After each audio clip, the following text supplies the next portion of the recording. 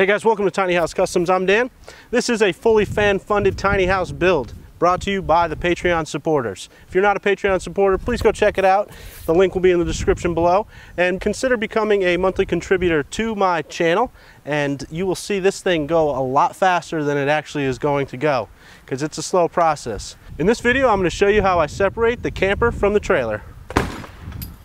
What the hell? So in this camper, there's a few things that I want to save. There is a stereo system in there, which is perfectly fine. It's got an AM, FM radio with a cassette player. Bonus, there's also this uh, propane stove. I'm going to save this. This might end up in the final product, as well as the uh, the range vent. There is a double kitchen sink right here. I'm not going to save this, this faucet. It's kind of outdated, but the sink is perfectly fine for a tiny house. There is a bathroom sink that is really small would work perfect in a tiny house. There is a furnace right here. I'm gonna save it, but I don't know if it's actually gonna work, so I'll take it out easily. I won't destroy it. As well as this fridge is a propane fridge. I doubt this will make it in the final product. But pretty much everything else in this house is done, garbage. So once I get these key little pieces out of this tiny house, nothing else is getting saved. So I'm gonna go to town on this thing. I have a Sawzall with a bunch of Sawzall blades and a right angle grinder with a metal cutting disc. There is a large tank underneath this bench seat over here. I want to be careful with that because I don't know what's inside of it. Also, I don't know when the last time the the septic system thingy or the black water tanks had been drained. So I need to be careful of that. There's two propane tanks inside there I need to take out. But I don't want to be cutting into anything that could possibly explode or injure me in any way. So I want to be mindful before I just start going crazy. But with with that, there, there shouldn't be much in here because pretty much everything's disconnected. It's not connected to power. It's just a piece of shit now. And it, like it should just it ain't gonna fall apart easily, is it? Oh, look at this. This was built in May of 1976. Ah!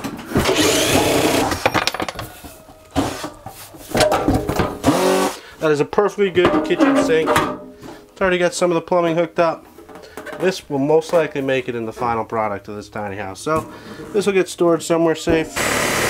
So that'll be a perfect kitchen sink. Not a kitchen sink, a bathroom sink.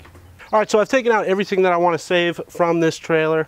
I got the stove, the sinks, you know what I've got. You saw me kind of take most of it out. Uh, any of the little pieces that were in cupboards and stuff that could be worth anything I took. So right now, what I'm gonna do is start taking the windows out. Since there's glass and I don't want glass going everywhere, I'm gonna try to be gentle with the windows, remove those, put those to the side. Not gonna be saving them, they're gonna go into the dumpster. Uh, I'm gonna take them to the recycle yard, see if they'll give me money for them. They might say, because the glass, no, I don't know. They'll definitely take them. They just probably won't give me as much money as they would for this stuff. Uh, so right now I'm going to take the windows out and then I'm going to take as much of this outside sheeting that I can take out. While I'm doing that, Levi is going to be inside there going to town like a maniac, I think. I'll put a different mic on it. This thingy right here, so audio's going to change. Burnett, what do you say? I say nothing. Again, stupid idea. I don't need a doghouse. Well, I guess you can build one for you and one for me. That's okay. I'll do that. It sounds fun. Thankies. You know what time it is? What's that? Destruction time. That would have looked really nice in your tiny house. Ah! You take this, and you put this underneath here, you just pry it. Okay. You're just crazy.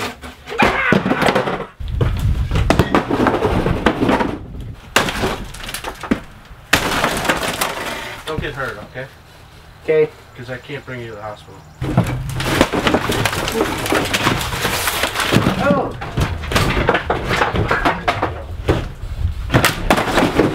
You see these right here? Yeah, Watch break out. them. Watch. You take it like this, and you just push it. What? That's fun. You are having fun. I'm not having fun. Man, it smells like piss in here. You okay? Yep, that's your fault. Ho, ho, ho. Holy shit.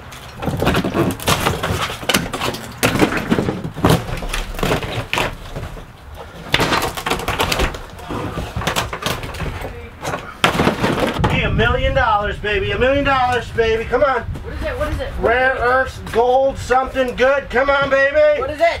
Nothing. Ow!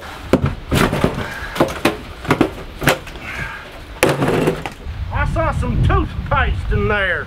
Toothpaste, mouthwash, and dental floss. You floss. better be saving that there. So I've taken out most of the windows and I've found the easiest way to do it. There is screws holding it in, but there's also silicone which makes this thing almost impossible to take out.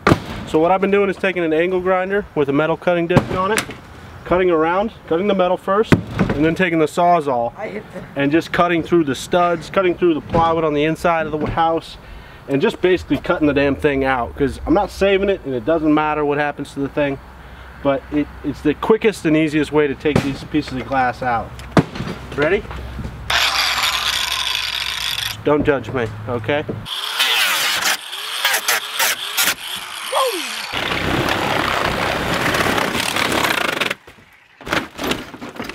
Bam.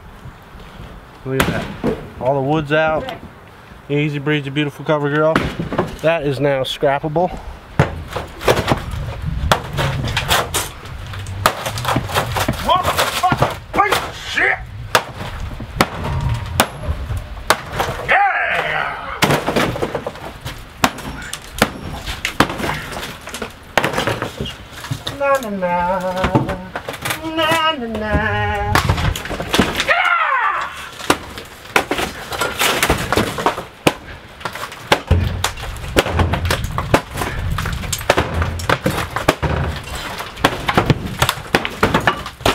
Holy shit, all the fire!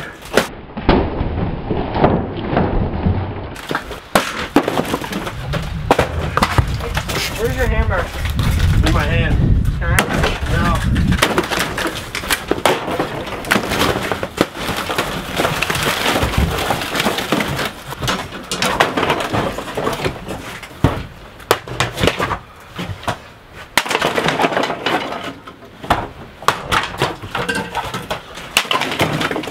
Since you're doing it in the middle, you're gonna be working twice as hard. First going to the bottom one, getting one at a time. Pop! There you go, and you got that one at the same time. Double, double, double dipping. It level. Alright, Go go down. down. Fucking get angry with it. When you drop this, get to get this tool out of here. Tools. Now, there you go.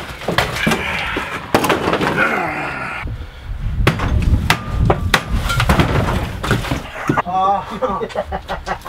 Look at him down. Fuck me. Here. Ah, that's alright. It might have fixed it. I think it fixed it. It didn't fix it. I'm lying to you. Ah, shit. Ah. What did you hit it on the fridge? I did this. that, that ain't gonna fit out the door. We gotta tip it on the side though. Keep it balanced right there, right? You got it? You don't got it. You got it? You got it? You don't have it. You have it? Don't drop it on me. This whole shit right here. Oh, we gotta get the glass out. Yeah! Holy shit, I almost whacked you in the fucking head. Yep. That would have fucking hurt if I hit you. Oh, camera, camera! So this is day two of the demolition. My body is killing me. I don't know what the hell happened to me yesterday, but that was brutal. My goal today is to get this thing on the grounds. I'm gonna finish demoing inside. Then I will come take all the metal off because I want to scrap the metal. And then I will take a sawzall and run around the bottom of this thing. And hopefully we can just get it to topple over this way right here. And then I can strip the ceiling or the roof and then burn all the wood. It's a beautiful day in the neighborhood. A beautiful day in the neighborhood. Won't you be mine? Won't you be mine? I am 99% positive that I broke my pinky yesterday. It really hurts. Really hurts.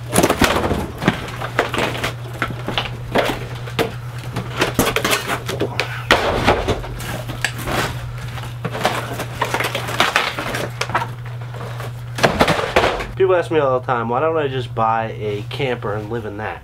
You see the quality that they build these things with? it's it's crappy. It's horrible. I mean,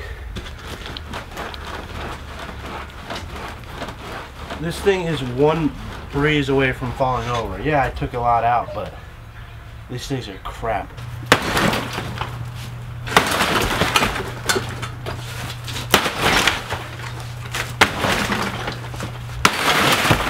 All right, so the inside is pretty much all demoed. When I've seen people do a demo on these things, I'm like, why don't they just cut the damn thing and just rip it off? And the whole reason is, is because I want certain pieces, I want to save certain pieces. All this metal right here, this is aluminum. This is worth a lot of money. So I might be able to recoup every penny I spent so far on this aluminum. Um, so the better and, and cleaner I can take it off, the better it'll be for me. And especially if I can make like different metal piles. So I'll have steel, copper, and aluminum. So I'm gonna do is cut approximately every five feet and take off each panel. I'll cut around anything that causes problems.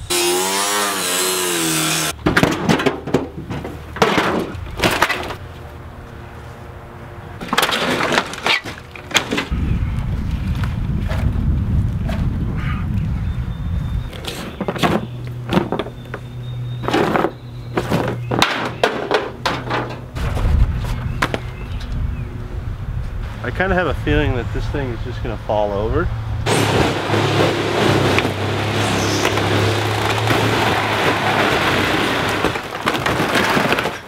I mean, sometimes you get the shot, and then sometimes your battery dies on your camera and you don't get the shot that you wanted. And I believe that was the case here. That sucks that the camera wasn't filming for you. It really is. It's really upsetting.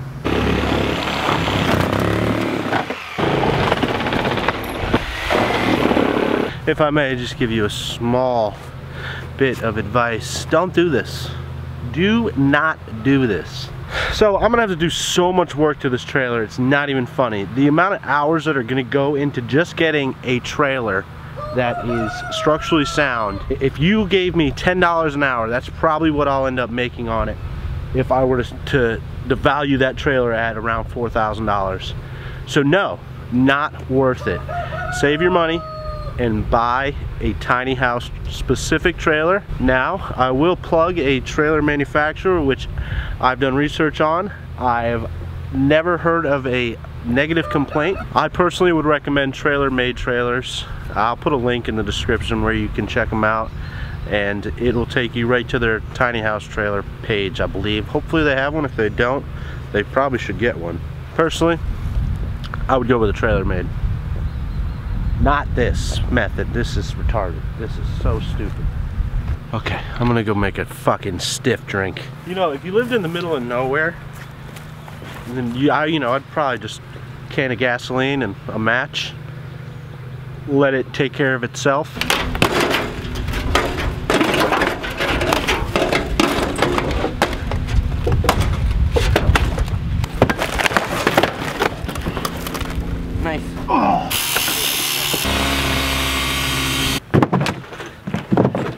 This is why it's called Terry.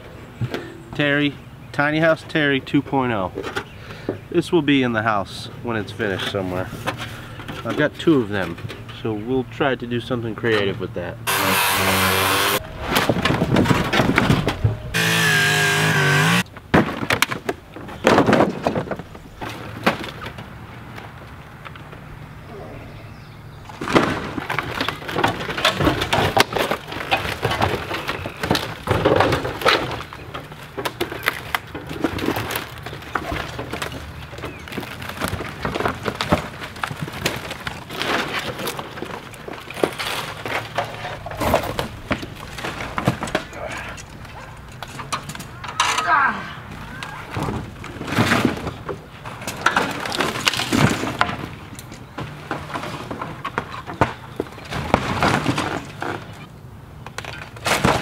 So this is day three of this massive, ridiculously hard project.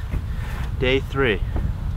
I was supposed to do my windows, finish my windows and get them installed this weekend, but that didn't happen. This, this has been happening. My goal for today is to get this floor off. It's the only thing on this project that I don't really know how it goes on. I mean, I look at it and I know how it works now, but the whole process of doing it, I'm not quite sure. I will take you along for that journey and then clean up and then make organizational piles. Aluminum, copper, steel, trash, which would be plastic, and the insulation. I won't be reusing this insulation. And then what else? I got one more pile. No, I'm forgetting one. Oh, and the wood. The wood is all getting burned. I have a big burn pile. I'm in this whole project. I've generally stayed pretty sober, but my body today is, is fucking killing me. Oh yeah, I'm getting fucking wasted today. See, I work a night shift job, and so I have to wake up at like 5 p.m. But I have switched my schedule, my sleep schedule, so that I could work on this this weekend. Tonight, I'll go to bed at my normal hour, like, or you know, like 10 p.m and then I'll sleep till noon, but then I'll wake up tomorrow with such a raging hangover that I'll just stay in bed all day. Perfect. And then at 7 p.m. when I gotta be at work, I'll be good to go. I know, I'm a fucking genius. So I wanna start separating this floor from the trailer. Now I've noticed that there's these quarter inch lag bolts every foot on the front here and then they look like they're every four feet on the side or everywhere there's a outside piece coming out, a, um, an outlooker basically. So what I'm going to do is take my angle grinder and cut this free and cut that one free. I'm hoping there's none running with the length of the beam, but we will see. All right, Peter, watch out. Man, already, look at this cut. See that shit? Every day I've gotten a good one. What's that, man? titties and some ass. There could quite possibly be a fire going on right here. If you can see, most most certainly is a fire happening right there. Oh yeah. Oh, that's fire. There's flames. No fire. So I'm going to cut these pieces into manageable chunks, probably like roughly four feet. I was thinking of using a circular saw, setting a depth it'll destroy the blade and slightly ruin the saw, but I can always clean the saw up and fix that. I think I'll use a jigsaw or sawzall, make a cut and see how good that goes.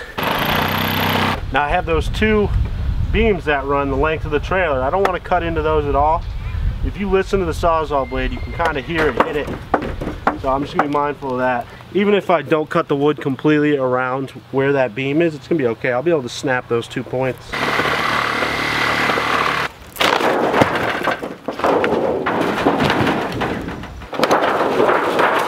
This is the third cutting disc that I've stepped on and broke. Now they're extremely dangerous cutting like that, like that.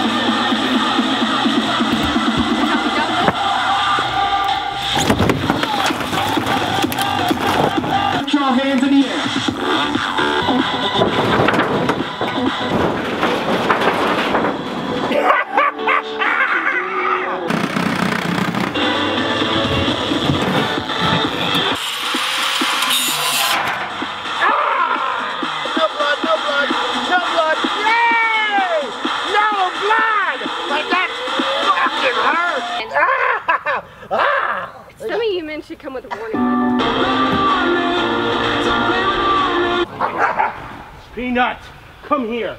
Come here. No, that's too aggressive, Peanut. Whoever thought this was an ingenious idea is completely, how do I say this, as being politically correct as possible. I really can't say it without being politically correct, but you should get evaluated mentally because there, there is nothing beneficial by doing that. So that's it guys, a completely demo trailer. That took me many, many hours over three, four days. Today is kind of the fourth day. Uh, I've been running to the junkyard and to the scrapyard and all that stuff. So let's talk money. The trailer cost me $260. I spent about $40 in gas to go get it. Uh, I spent $10 on Sawzall blades, $15 on grinder blades, I took one load to the dump, that was $15. That totals $340 for the trailer. I brought all the scrap metal that I had to the scrap yard and I got $70 for that today. Not what I thought I was gonna get for it. I was hoping for a little bit more, 150 or something. But yeah, not not what I thought I'd get for it. So in total, I have $270 invested into this so far, or my Patreon supporters do. I do still have some scrap metal that they won't take because it's connected to different materials. So I need to separate wood from aluminum and also the glass from the aluminum. So I still have all the windows and I still have a bunch of aluminum over here. I don't know what I'm gonna do with it. I might try to smelt it and see how that goes. Now, of course, the price that you're gonna get from a scrapyard is gonna change from, from area to area. And I got 35 cents per pound on the sheet aluminum which was pretty good. And then I had Romex low grade wire, which would have been like all the wire that was really thin and plasticky. Uh, number one, copper, which would have been just pure copper. The steel, I got six cents a pound, which was really crappy. And then I had like really dirty aluminum with like tar on it. I got 12 cents a pound on that. I can't really complain because no, I can. That was ridiculous. So when we come back to this project, I'm going to be cutting this up a little bit, adding some pieces on, welding it. I'm probably going to get it sandblasted and then paint it. And then I could start building off of it. But I kind of figure that the rebuilding of this trailer is going to be a couple episodes because I want to go into some better detail on why you shouldn't use this type of trailer to start your tiny house on, that you really need to add to it and it's probably going to push it into the thousand fifteen hundred dollar range once I'm done which will be better than buying a a trailer but I'm still not still not a fan of this method. We'll see. Hopefully hopefully it all works out. But if you do want to help support this build please go check out my patreon page. The link for that will be in the description below. Just a dollar a month you're going to get advanced access to all my content as well as this project and also some behind the scenes type videos that won't be released onto YouTube. If you just want to follow my progress on either this build or on my regular tiny house, make sure you hit that subscribe button. I put out videos twice a week right now. Don't forget to show that like button some love and leave your comments down below letting me know what you thought. And I will see you on the next video.